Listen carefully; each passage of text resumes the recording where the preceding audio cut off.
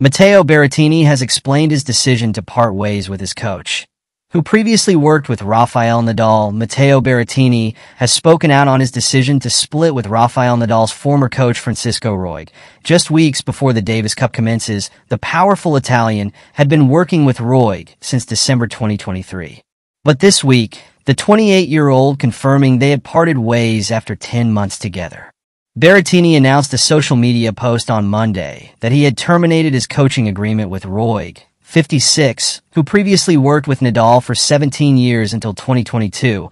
I wanted to let you know that Francisco Roig and I have decided to end our professional relationship. Berrettini wrote on his Instagram story.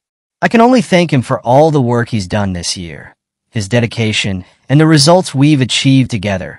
It was a professional experience that allowed me to grow immensely both on and off the court.